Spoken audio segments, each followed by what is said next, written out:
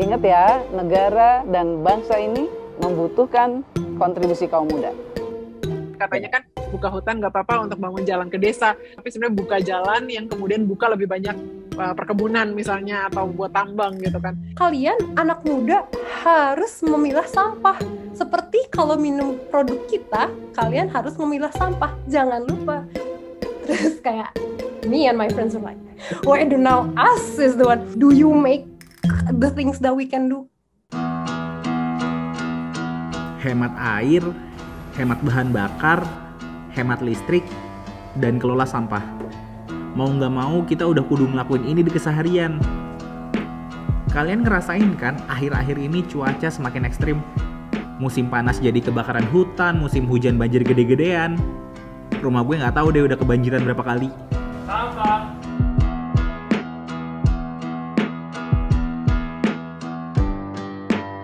Gue mau jadi bagian dari anak muda yang bisa menekan dampak krisis iklim. Tapi saat gue mengubah perilaku gue, semuanya kayak sia-sia. Cuma pemangku kebijakan yang bisa benar-benar menangani krisis iklim. Namun saat dunia membutuhkannya, mereka malah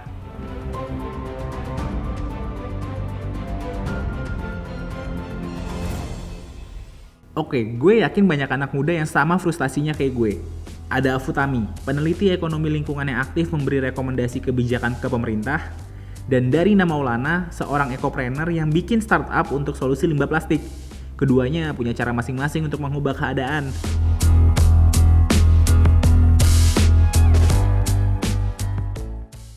Oke, Kak Fu, kita nih sebagai anak-anak muda nih kayak, kok kayaknya kita dapat beban ya untuk menyelesaikan dan mengentaskan problem krisis iklim ini gitu menurut lo sendiri fair nggak sih kan? Sangat-sangat tidak fair.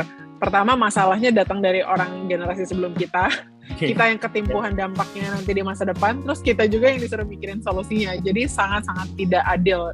Yang kedua juga shiftnya tuh ada di produsen konsumen ya. Kayak simpelnya kalau e-commerce platform aja. Udah kasih uh, cara untuk secara sistematis kita bisa mengirim produk dengan uh, bukan packaging yang berlapis-lapis dan uh, dengan segala bubble uh, wrap dan segala macam itu. Kan itu perubahannya langsung dari atas tuh langsung ke bawah semua sama gitu kan gitu. Bukan malah bilang oh konsumennya dong harus lebih ini. Tapi kan itu kan berusaha mengubah ratusan juta orang gitu. Harusnya justru dari yang hulunya ini dari kebijakannya dari model bisnisnya. Kalau mau ngomongin fair apa enggak of course it's not fair lah. Tapi di saat kita udah nggak punya waktu untuk blame game atau kayak there's no time for us to cry there's no time for us to blame people. Karena sekarang kita udah dikasih hands on dunia udah rusak serusak-rusak itu.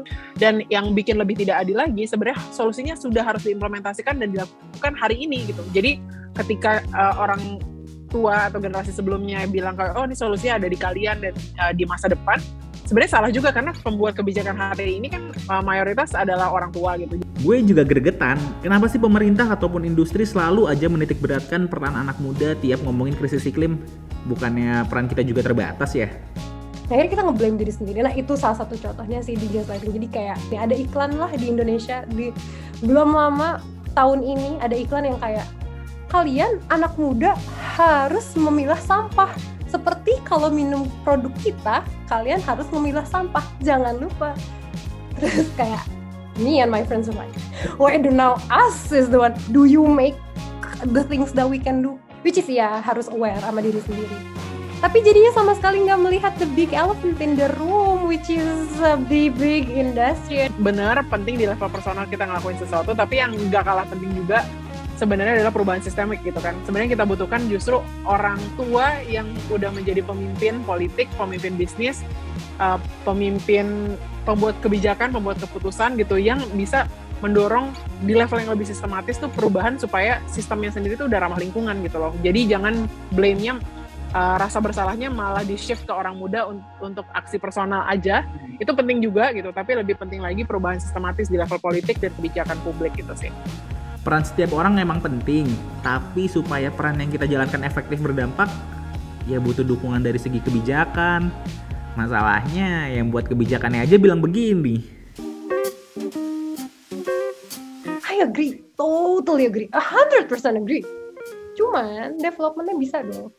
Belajar dari kesalahan gitu loh. Kalau kata anak startup iteration gitu kayak ya kan ada learningnya dong. Jangan sama kayak lagi, jangan sama lagi kayak kemarin lo udah cuma ngomongin ekonomi doang. Hmm. Terus lo nggak ngomong mikirin yang lainnya.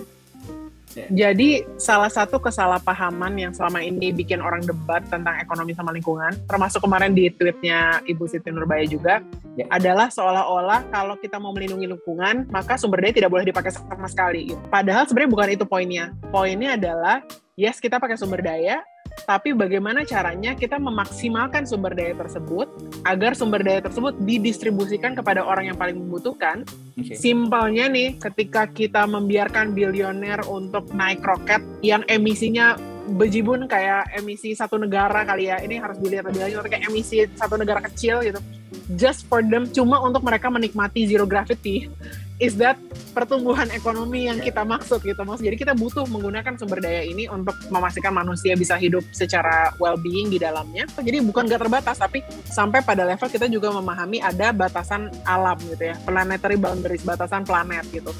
Jadi uh, sebenarnya ini konsep disebut sebagai uh, uh, donut economics, jadi ekonomi donat aslinya sebelum aku sadur jadi ekonomi martabak. Nah, mumpung kita bahas martabak, kita coba ilustrasiin martabaknya ya. Uh, kalau dalam konteks martabak kan ada batasan bawah nih. Kalau martabak kan ada ada atasnya terus ada bawahnya gitu, terus ada coklatnya di atau keju apa pun yang kamu suka di dalamnya gitu. Uh, jadi memahami bahwa kita tuh pakai sumber daya untuk memastikan fondasi sosial bagian bawah martabaknya ini kuat gitu. Jadi uh, kita pakai sumber daya dan kita utamakan sumber dayanya untuk dipakai oleh orang yang masih hidup di bawah kemiskinan saat ini, orang yang masih belum punya akses pangan, masih belum masih kelaparan, masih punya akses belum punya akses air dan sebagainya. Bukan kita mengeruk sumber daya terus-menerus untuk memperkaya satu persen yang udah kaya gitu. Ini kan kesalahpahamannya ya. Maksudnya selama ini kayak ah kita tumbuh pertumbuhan ekonomi, tapi pertumbuhan ekonomi buat siapa?